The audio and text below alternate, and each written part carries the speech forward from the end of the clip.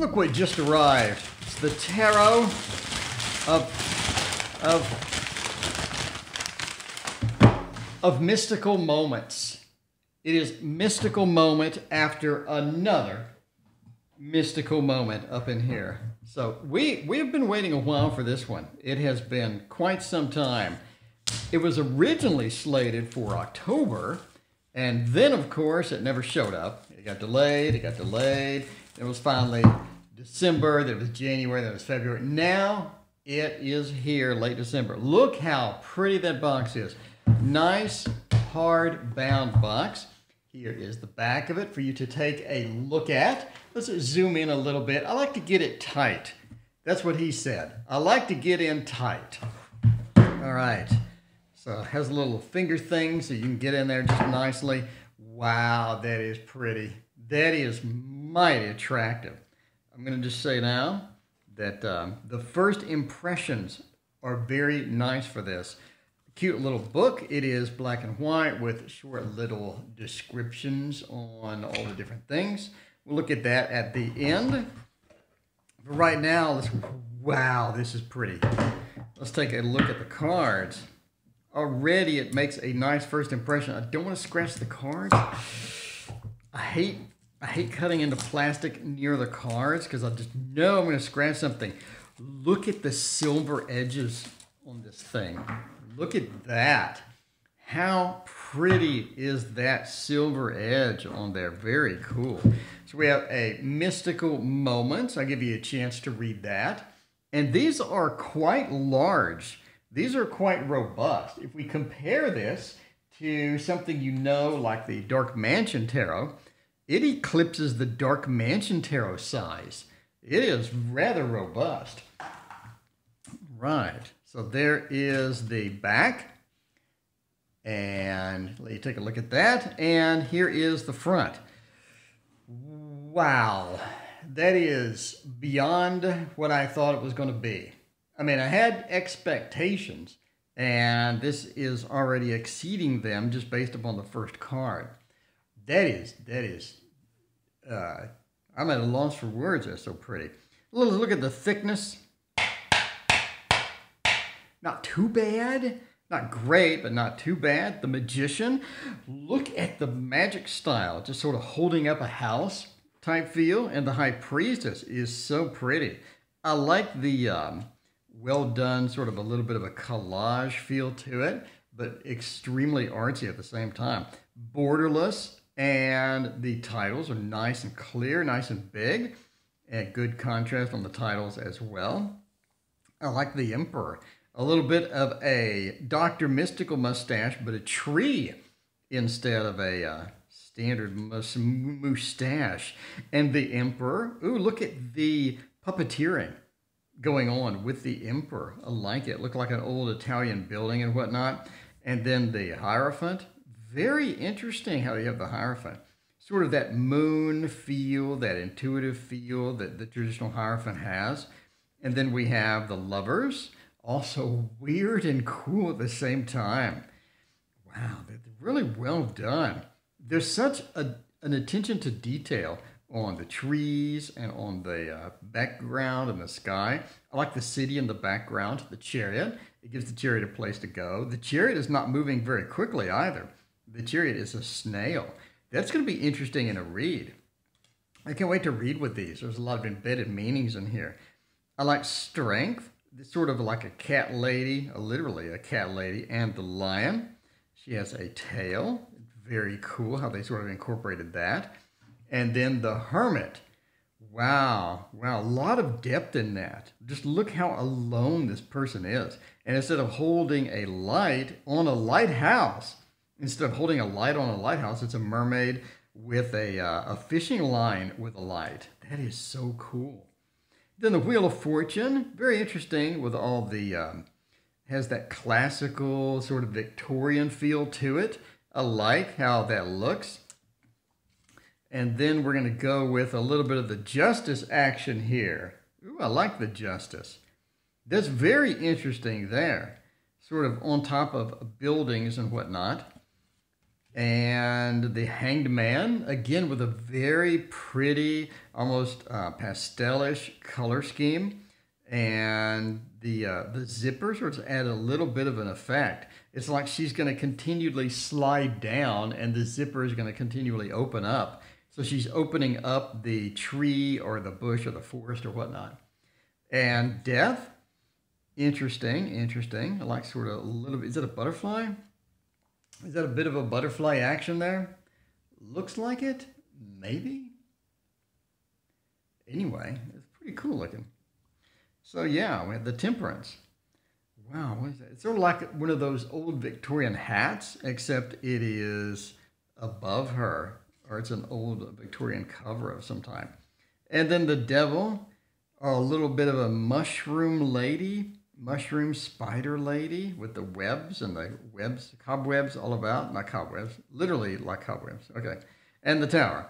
Holding on, holding on to the tower. That is so interesting. We, we're seeing the change coming, but we don't want to watch it. We don't want to watch it. So we're averting our eyes and we're holding on, trying to avoid the change. Great, great interpretation of that. The star, very, very cool. I can't wait to read with these, all of the extra meanings that are sort of embedded in here. And of course, the moon with the howl, and it looks like she's a half octopus mermaid, a half human heading towards the moon. And then the sun. Wow, so, so pretty. Her hair becomes the sunlight. Just the way that this is done is so artistic. Very, very artistic. And then judgment.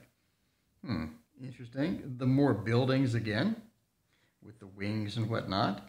And then we have the world. So the final, final one, the dress is actually the world, and it looks like an old steel mill type uh, texture or something like that. Ace of Wands, opening the book and seeing the flower. So it's almost like a reveal, a sudden reveal of something, right? And then the Two of Wands holding the globe there, looking at the moon. Very, very pretty. And the Three of Wands. It is very surreal, very surreal deck.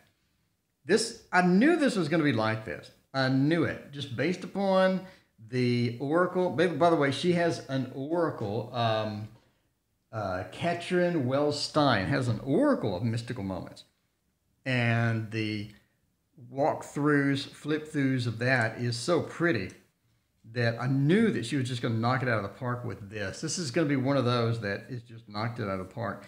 Especially, we have the um, silver gilded edges. We have a big, big three and a half by five or three by five card for 20 bucks.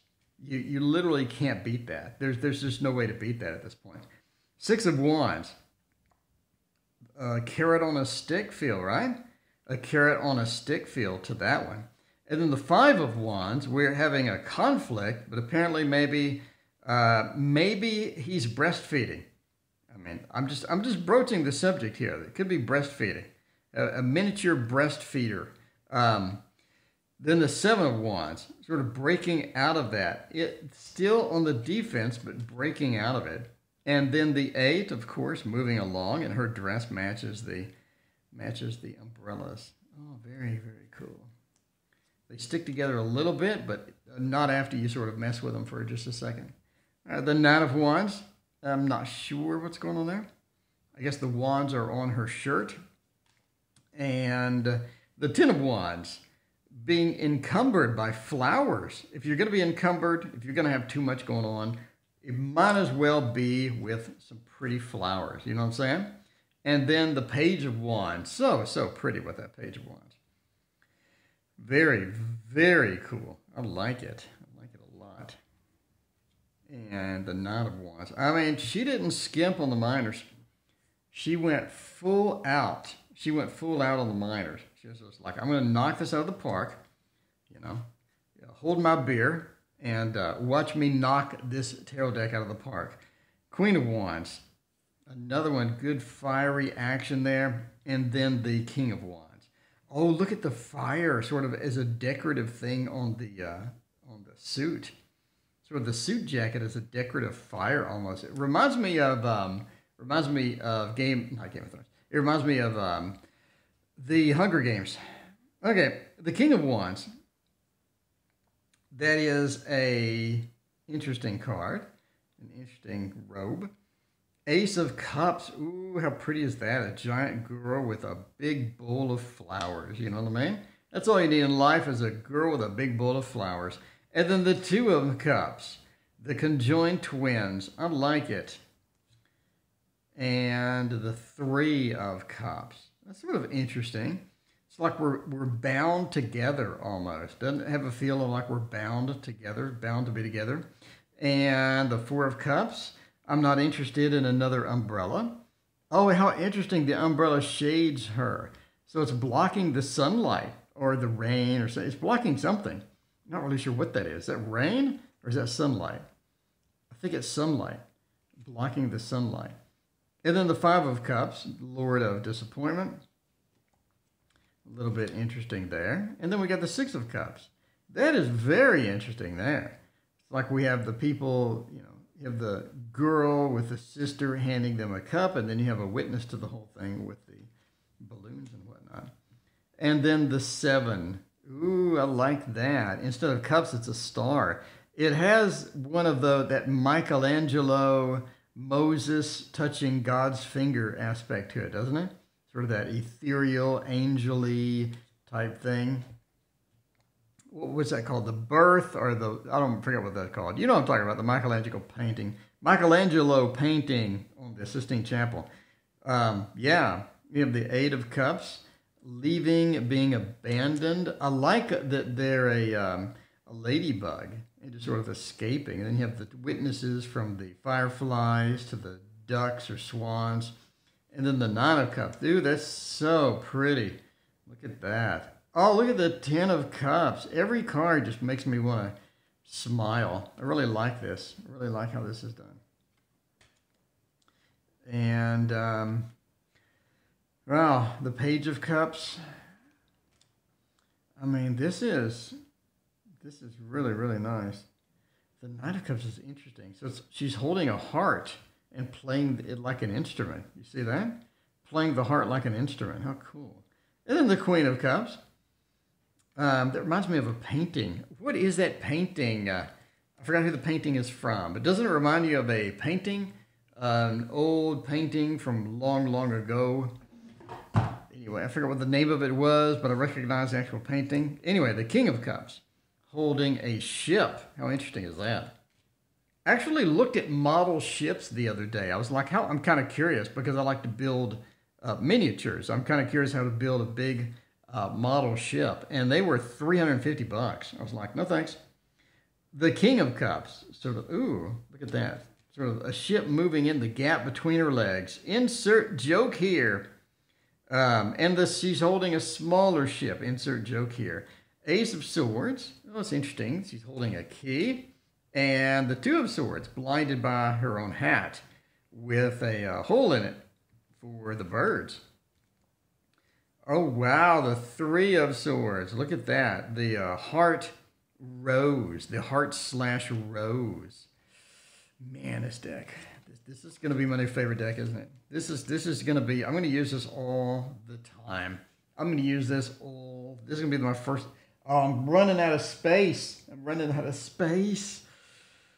Four of Swords is so pretty. That resting aspect, and it's almost like her hair is shaped like a sword. Obviously, the feathers are a sword, which is done again in the new tarot that's on Kickstarter the uh, Five of Swords, the Lord of Defeat. We have sort of a mirrored defeatist looking form. And then the Six of Swords, taking a journey on the clouds.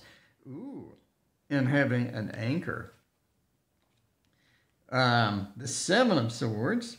This uh, there's so many. I mean, actually, this is the first deck in a long time that I want to make a dedicated video and discuss the possible symbolism that I see would be interesting to sort of work out anyway, especially since this is only 20 bucks. Like like everybody can it's not like one of those decks that's going to be 50 some bucks.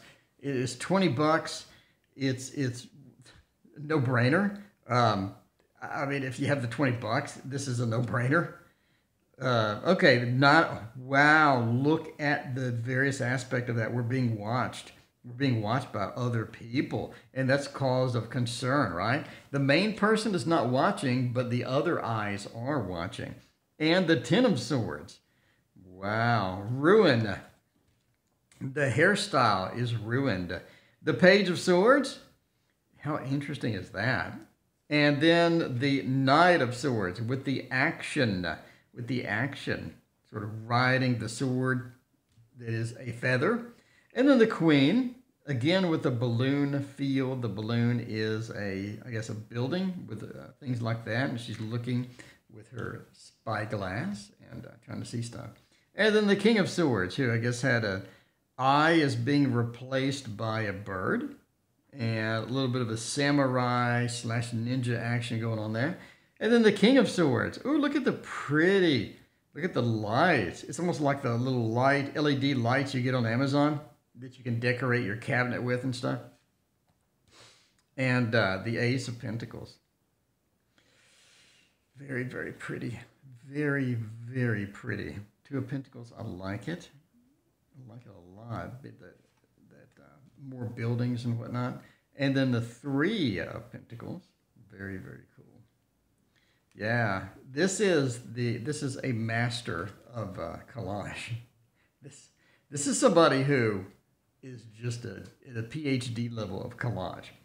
The Four Pentacles. Ooh, the gate. The gate with the locks and whatnot, sort of embedded into the dress.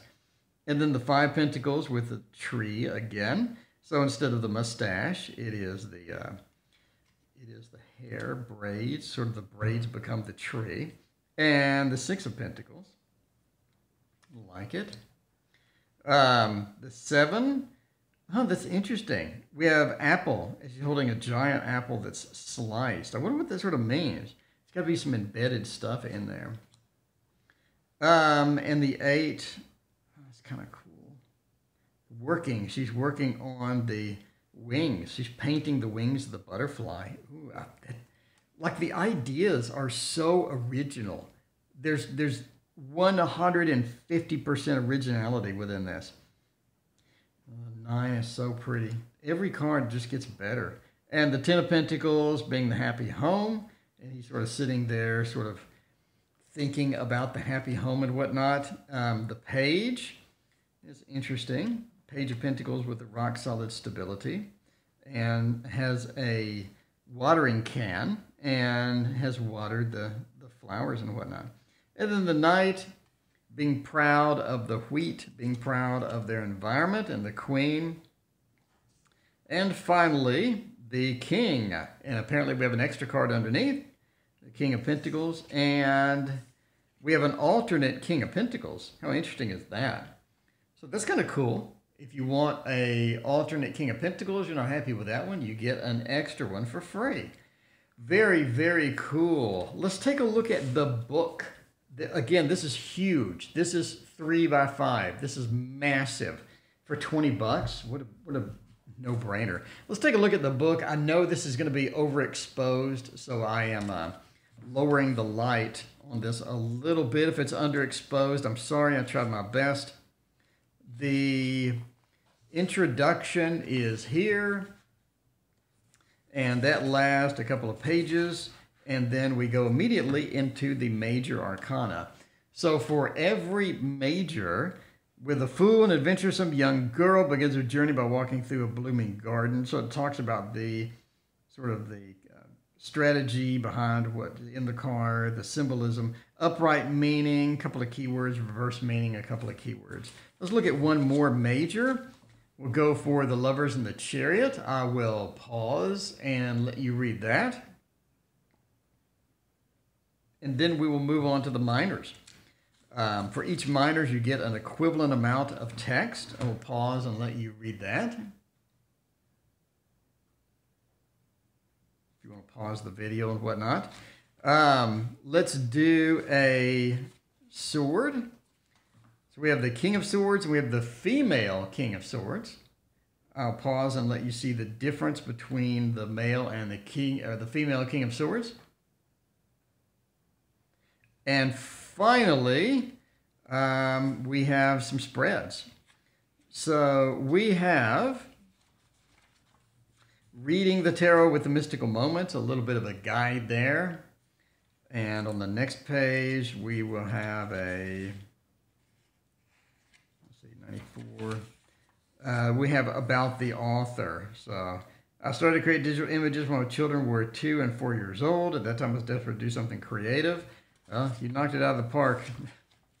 you knocked it out of the park. So, so you get a three by five deck with silver edges, big, thick, hefty cards. Let's look at the thickness compared to the Dark Mansion. So you get a Dark Mansion style deck for 20 bucks. I would say this is the one of the biggest no-brainers that I've seen in quite some time. So overall, I am just ecstatic with it. I think that she knocked it out of the park. Let me know what you think. I'd love to hear, let me adjust the brightness up. There we go. I'd love to hear your opinion. Thank you so much for watching. We'll see you next time.